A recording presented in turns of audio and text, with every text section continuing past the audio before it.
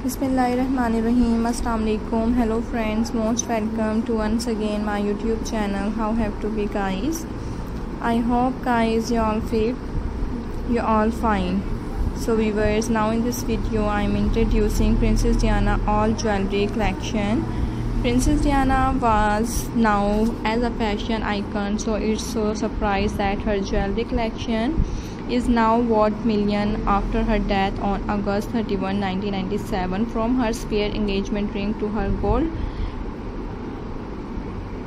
many of Diana's most recognizable pieces have been passed down to her daughter-in-law Kate Middleton and Meghan Markle, who are now styled superstars in their own right. I hope guys you like this video. Hopefully you enjoy this video.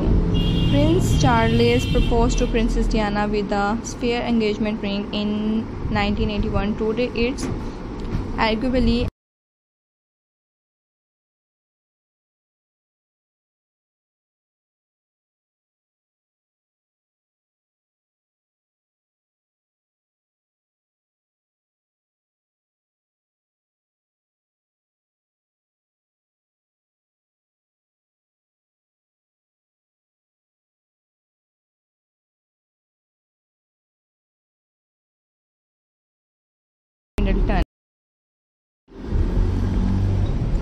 So I hope you enjoy this video. Leave it to Princess Diana to make a wardrobe fashionable while visiting Australia in 1985.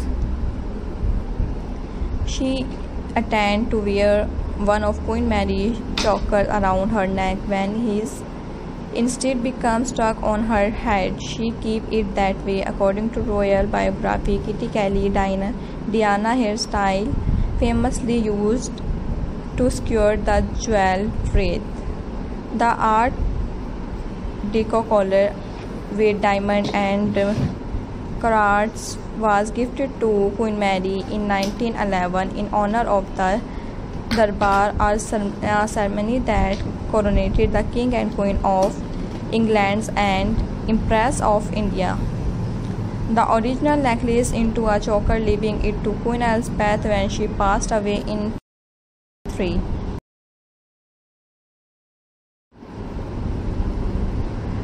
So guys, the Delhi Darbar Choker has also been worn by Kate Middleton.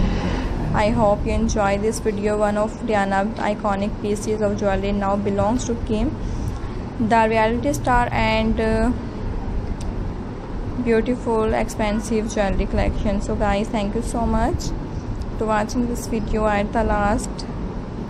Allah Hafiz. Have a nice day guys. Thanks for watching.